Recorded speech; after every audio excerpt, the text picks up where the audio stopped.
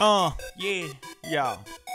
NBA week two, what you gonna do? Porzingis straight coming through. Rookies who are 7-3. Steph C play MVP. Let's talk KD. Damn, he left last night. Pulled hammy like Chalmers left Miami. And did you see Westbrook slamming? Check the standings. Uh, yeah. The Cavs are stacked, so are the Hawks. Harden got hot on a Houston Rocks. Whiteside and Gobert leading blocks. And what about all these colorful socks? Everybody talks. What are those? Are the Bulls done with Derrick Rose. LeBron bought a house in LA. Call me if you wanna hang someday. We can take a ride in my busted old whip. Talk about Davis's bruised hip. Rest in peace to Saunders Flip. Maybe I'll make some nice dip or some hummus. It'll be fun. We'll sit back and sing White Iverson. Started balling when I'm young, like Greg Oden. My career is done. One. See y'all next week. This too loud.